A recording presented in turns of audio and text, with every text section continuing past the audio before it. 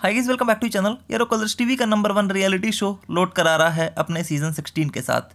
Big boss 16 तो हाँ यहाँ पर जैसे कि शो को स्टार्ट होने में सिर्फ़ एक हफ़्ता ही बाकी है, जिसके साथ कंटेस्टेंट लिस्ट सामने आने लगी हैं. बातें सामने आने लगी हैं लिस्ट सामने आने लगी कि आखिर कौन कौन आने वाला है. तो यहीं पर जैसे रूमर्स के साथ ही साथ खबर चली रही थी कि फतेह और तेजो आने वाले हैं उडारियाँ के जो मेन लीड जिनकी हाल ही में एग्जिट हुई उडारियाँ से.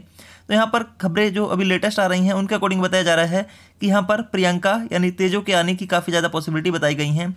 रेगुलर कलर्स टीवी और मेकर्स के साथ प्रियंका की बातें चल रही हैं और बिग बॉस वाले पूरी कोशिश करते हैं कि शो के प्रीमियर से पहले लिस्ट बाहर ना आए।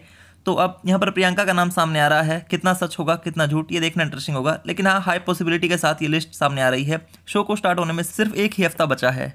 जहाँ फतेजो के फैंस फतेह और तेजो दोनों को शो में देखना चाहते हैं तो वहीं पर अंकित गुप्ता की पॉसिबिलिटी थोड़ी कम बताई जा रही है एज पर दी डिटेल्स साथ ही साथ, नागिन थ्री में नागिन बन चुकी सुरभि ज्योति भी इस शो में हमें देखने के लिए मिलेंगी इस बार. मेकर्स अपनी पूरी कोशिश कर रहे हैं कि हिट से हिट सेलिब्रिटीज़ को एक्टर्स को इस शो में लाया जाए और इस सीज़न को हिट बनाए। और हम सभी जानते हैं कि फतेह और तेजो की फ़ैन फॉलोइंग कितने हाई लेवल की है। अगर फतेह और तेजो आते हैं तो आप कितने एक्साइटेड ज़रूर बताएँगे नीचे कमेंट्स में। मैं आपसे फिर मिलूँगा और अपडेट्स के साथ। Bye take care